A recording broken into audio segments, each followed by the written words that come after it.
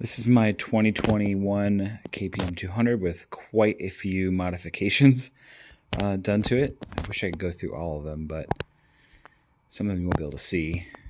First one is added an aftermarket speedometer that actually taps right into the the stock wiring harness. There's a wiring harness directly underneath this panel that you can get to pretty easily. And I made a new wiring harness connector that basically branched off from each wire that was part of the stock harness and feeds in here. I do plan to tuck these wires once I take the once I take the uh, light off here. I'm going to tuck the wires up inside here to get them out of the way of this. It's kind of ugly, but that's for another time. I just had to make sure everything was working. But this stock Speedo I will say works exactly like this one. I mean, almost point for point, same features and functionality. It almost is like the same company made both speedometers. I got this one on Amazon, and I'll put a link down in the video description so you can see just how to get that. I also have uh, a link down there for the wiring hookup that you need to do, like what wires you need to tap into down here to make it possible. But that's one the many modifications I made to this. Um, these are not stock handlebars. These handlebars are also off of Amazon. Um, and I will include a link down in the video description for that as well. Uh, the new 2022 and or maybe just 2023 onwards KPM 200s do have handlebar with a little bit of a higher rise than the stock one. My stock handlebars just did not have much of a rise at all. And I don't even think I have them here but really was, they were just almost completely straight across. So I just needed something that moved a little further back, and, and these worked out pretty well. Um, these ones on Amazon, I did had to I did have used a tap to basically create a bolt hole on either side to to mount these uh, stock uh, mirrors, but that worked out pretty well. So what you can't see inside of here, this stock came with a 15 tooth um, gear sort of a primary gear here. Underneath this cover, if you take this cover off, there's the gear attached to the motor is right there. So this came originally with a 15 tooth. I replaced it with a 17 tooth and just had to move the tire basically pretty much all the way forward as, as far as I can get it. And I still have a good amount of uh, slack in the chain, but that definitely needs to be cleaned at some point. But that was added aftermarket um, and it just definitely improved the bike overall. Didn't really make it any faster, but um, the first, second, third gears are much more usable now. I don't, you know, I don't end up having to jump from first, second, and third almost within the first few seconds of, of taking off down the road. So that's been a great, a great, great help.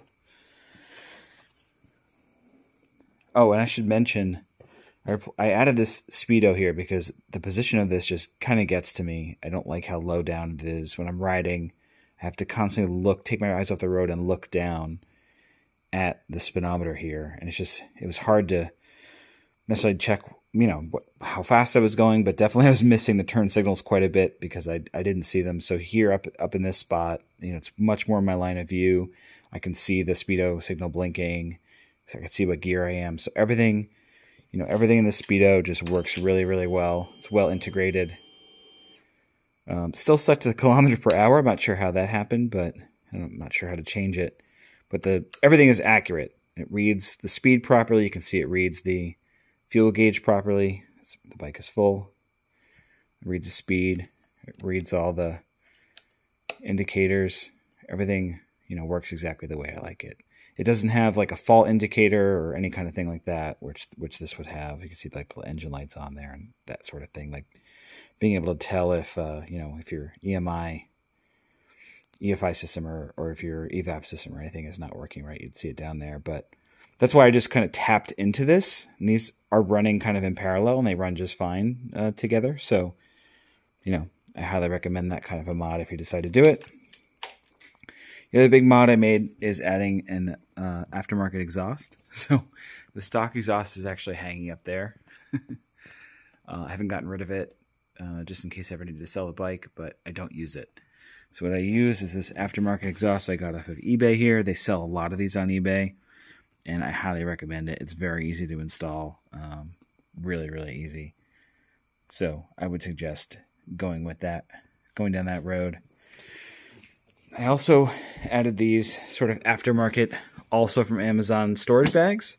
They work really well. Um, you can't really see too easily, but there is like a this piece of metal right here. It's just a, a like basically a, uh, a bent L bracket that I bolted to the side. There's screw there's screw holes in the bottom of this metal piece here. There's a screw hole vertical. So I just you know screwed it in underneath, bent the bracket, and then use zip ties to hold this bracket to this sort of like plastic backing that this has. You can kind of see the zip. Oops, sorry for the, the, camera craziness, but you can see the zip tie right there. So this work, these work really, really well. Um, they stay on here really, really well. I have there's holes like these that go all the way towards you know the back. These basically meet up in the middle underneath the seat. So I just screwed. I put screws in each of these holes. The holes go all the way under here too. You probably can't see them from here, but they're like right here. I just basically put screws down into the plastic fender and just basically screwed this thing down to the fender on both sides. But these are great. I keep my gloves in here. I keep all kinds of stuff in there. So that's the kind of big mod I did to this bike. Otherwise, everything else is basically stock. It's, it runs really well. It's very reliable. Uh, super fun to ride. I just really like it. I like I like its styling. I like the way it looks. Uh, it's comfortable. It's light. There were just a couple of things about it that I wanted to improve. With the um, the new 16, 17 tooth sprocket on there, it's a 17 tooth 428 sprocket. With that sprocket and with that aftermarket exhaust in there, um, the bike runs and is just much more speedy, much more responsive. Uh, just just runs really really great.